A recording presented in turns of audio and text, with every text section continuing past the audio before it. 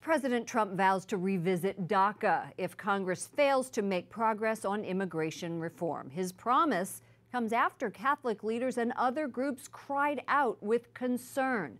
Correspondent Mark Irons begins our team coverage from the White House. Good evening, Mark.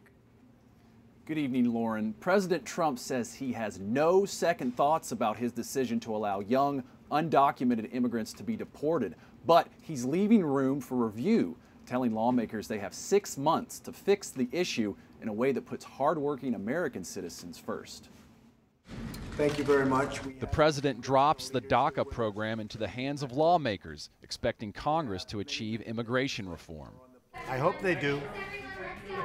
I certainly hope they do. President Trump discusses congressional priorities with the top Republicans and Democrats he invited to meet with him at the White House. Amidst all the talk of tax reform, funding hurricane relief, and raising the debt ceiling, Trump adds in a tweet Congress now has six months to legalize DACA, something the Obama administration was unable to do. If they can't, I will revisit this issue. The president's message about Dreamers comes right after his decision to terminate the program that protected the young immigrants from deportation. I have a love for these people, and hopefully now Congress will be able to help them and do it properly. Still, the Trump administration has already begun unwinding DACA. They have halted new applications and they are forcing Dreamers to reapply for work permits before October 5th. But current applications will continue to be processed and existing permits remain in effect. The Trump administration says ending DACA this way provides the best opportunity for Dreamers. You could have an orderly wind down by the Department of Homeland Security over the next six months, giving Congress time to act. President Trump still faces a lot of pushback from Catholic bishops across the country who denounce his decision.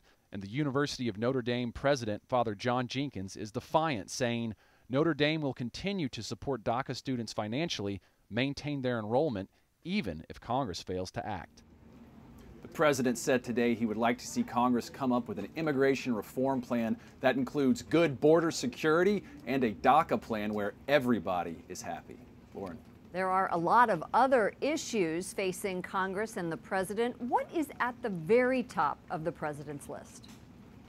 Well, tonight he's at an oil refinery in North Dakota pushing for major tax overhaul, something that hasn't been accomplished since the Reagan presidency. Correspondent Mark Irons at the White House. Thank you, Mark.